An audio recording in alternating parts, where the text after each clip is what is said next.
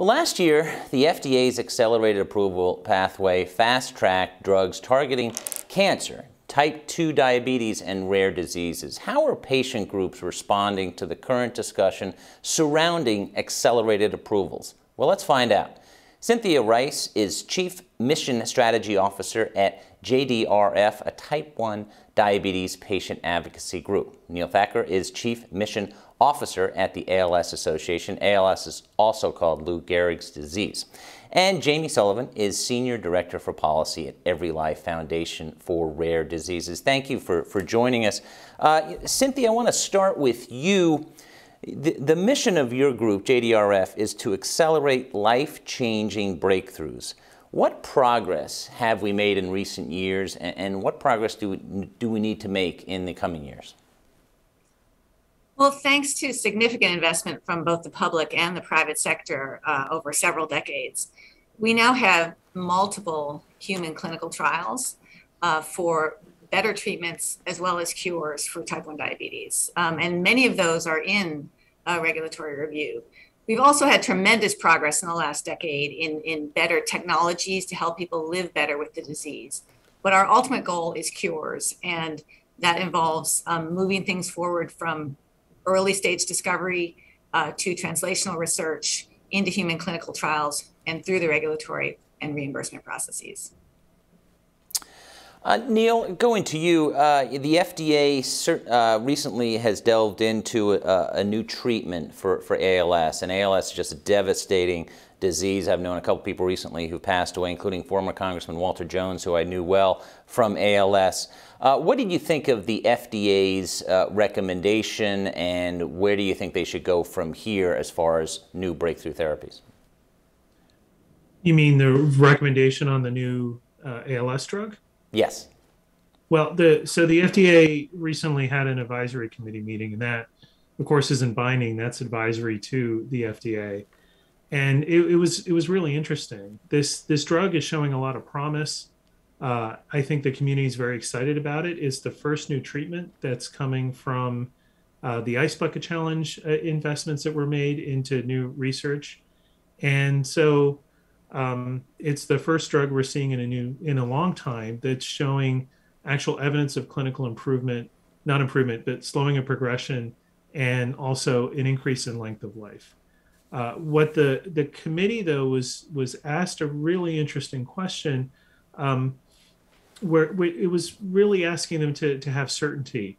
Um, do, do, the data from this uh, single randomized control trial and the open label extension establish conclusion that this drug is effective in the treatment of patients with ALS? And and you have to remember the context of, of ALS. It's a rare disease it moves very, very quickly. People only have a few years to live, and it's fatal. And so, certainty in a rare disease means that you have to run many more years of trials, most likely. And that's the way that co- the committee found. They, they voted, it, it, was a mixed vote, but they, they reluctantly decided uh, not to recommend under that question. But that's not the question. The, the, the question that uh, an ALS clinician faces is um, do we have enough? Do we know enough about the safety and efficacy of this drug to make it a treatment option uh, for physicians who, who care for people with ALS? That's a different question, and it gets to the role of the FDA. The role of the FDA is to advance the health of the American people. And um, maybe they asked the wrong question, but it's it's just a recommendation, so they still have the chance, I think, to approve this drug and make it available to, to people with ALS. Uh, a quick follow up on that, Neil. Um, many years ago, when I covered healthcare, uh, ALS was added to Medicare coverage by Congress in 2001. Uh, that was a very powerful lobbying effort at the time. It wasn't easy back then.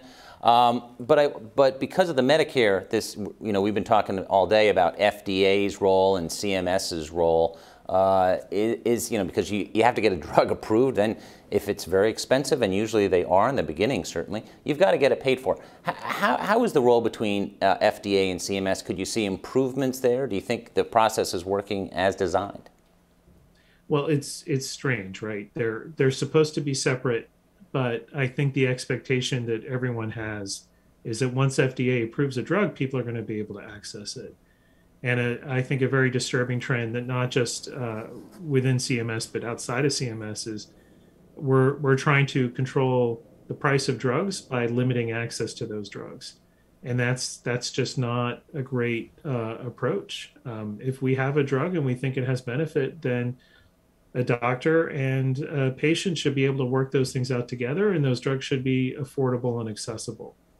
And especially when we've identified systemic bias all throughout our health system, to have different kinds of barriers uh, to getting a drug, uh, who's going to be affected most? It's the people who who aren't well served in our health system uh, in general. And so this is a, I think, a, a disturbing trend hopefully CMS and FDA can align, but it's that's just I think one one example of the challenges of getting access to a medication. I'm, I'm sure you've experienced. I'm sure everyone has experienced this this sort of triangle we get between our our payer and our pharmacist and our doctor, where everyone is saying we just need one more decision or one more piece of paper from the other person before you get your medication, and we just need our medication. And for for you know people like me, it's annoying uh, but if you have a, a, a, serious illness where you have trouble communicating or moving around and you can't just drive to the drugstore and wait in line and, and work it through, um, these are these are pretty serious concerns. Uh, Jamie, when we're talking about rare diseases, uh, when you use the word rare, uh, there are many rare diseases, uh, but as far as people getting rare diseases, not so rare. Uh, I believe the stats are one in 10 uh, have a rare disease. How do you think the process is in this country of, number one, the accelerated pathway process? Uh, how could that be strengthened? And, and how could the overall process uh, be strengthened that of government policymakers, Congress, so that patients can get the treatment that they need, even if they are not perfect uh, and, of course, are going to be controversial at first? Sure. Well, thanks. So I think that first and foremost, we know that based on the how the accelerated approval pathway has transformed outcomes in HIV AIDS and cancer care, that it's working uh, as intended, as Congress intended. Uh, and that reforms really should unleash that potential to help those with the unmet need with serious illness. Uh, and we know that rare diseases are that. Uh, we know 95% of rare diseases, there's about seven to 10,000 of them don't have any approved treatments. And we need to get options and hope to those patients uh, as soon as possible. So um, we have, you know, really been working on developing some accelerated approval related solutions, but also, uh, as you mentioned, on, on the process overall. And I think it's important just to, to note that therapies for rare diseases are really developed for complex uh, populations. There's no one size you know, fits all solution, and that the standards you know of of approval are going to be um, really have to take into account the population that they are being developed for. And um, ultimately, we have been thinking through appro- uh, reforms to the accelerated approval that will support the prioritization and resources that are necessary to better understand rare disease endpoints. If you look at the therapies approved in cancer using accelerated approval, there's about two biomarkers that are used, and those are very well understood. Um, why we're not having this conversation about some of the uh, accelerated approvals in oncology is that the payers understand those biomarkers. They understand what they mean, um, the science behind them. And in rare disease, that's not necessarily the case. So let's invest now in that evidence generation, in that better understanding of biomarkers to help improve the process overall. We know that we can strengthen uh, the confirmatory trial process through more frequent engagement uh, with the agency through um, better use of tools like real world evidence, which you've heard today. Uh, and we know we can still protect the statutory roles of the agencies, of FDA, of CMS, while facilitating earlier and more frequent engagement. So those are just a few of the ways we think we can move forward. Um, we know that we need to, to strengthen um, the coordination and collaboration within the FDA on rare disease issues across divisions, across centers, and we need to make sure that the FDA is bringing in the right expertise, uh, the right rare disease experts into the process as well. Uh, and continuing the interactive theme, we do have another question uh, from someone watching, and this one comes from Jessica Nickran, and this can really be answered by anybody or multiple people. Let's let's have a listen. Hi, my name is Jessica Nickran, and I'm a program manager at the Child Neurology Foundation, where we support the one in five children experiencing neurologic conditions and their families. We know too that 90% of rare disorders have a neurologic component. So my question is, how will this accelerated pathway affect the childhood rare disease community? Thanks so much for your time. Anyone want to tackle that one?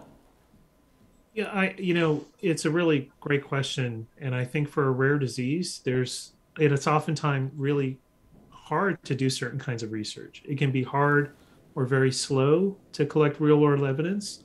Um, sometimes the biomarkers aren't identified.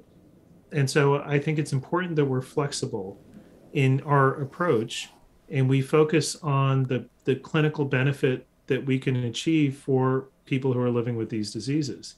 So if there is a clear case of clinical benefit, the accelerated pathway as it's as it's written usually doesn't apply because there's no intermediate clinical endpoint or biomarker and that makes it a challenge um, but the fda i think has shown um, for example, in the ALS clinical trial guidance in 2019, that they're willing to be flexible because they recognize the severity of the illness and they're supposed to be taking into account the the all the treatment options that are available for people living with that disease.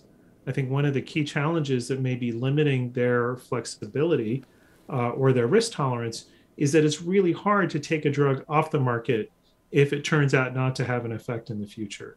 And so, if the FDA uh, had a simpler process to take a drug off the market, they might be more willing uh, to to approve a drug in the first place. Uh, Cynthia, as far as um, uh, Neil talked about bias and, and barriers and and mm-hmm. diversity, um, diversity in clinical trials, diversity in in, in helping patients. Uh, who are represent across the, the political spectrum as well as race.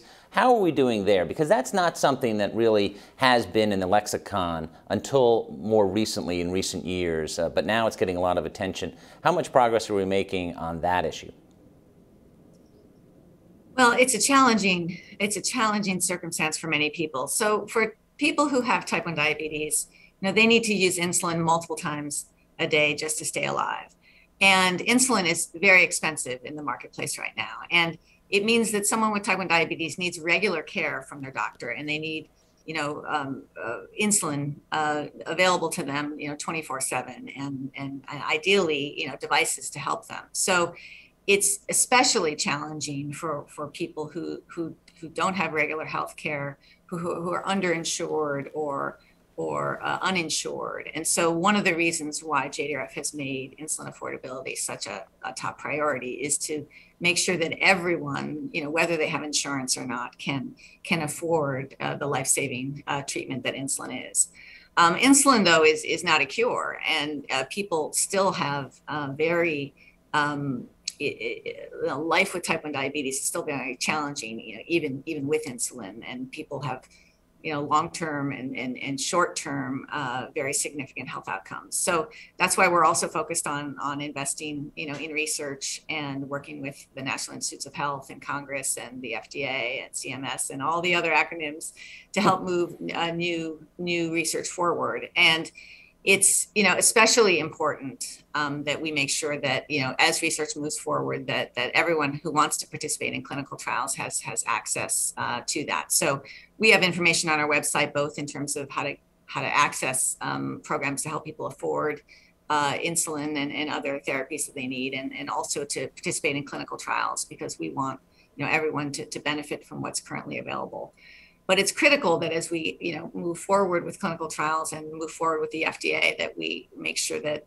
that that um, these therapies are reaching everyone, which is why we're spending so much time and, and, and energy on not only the research part of it, but the regulatory and the reimbursement pathways.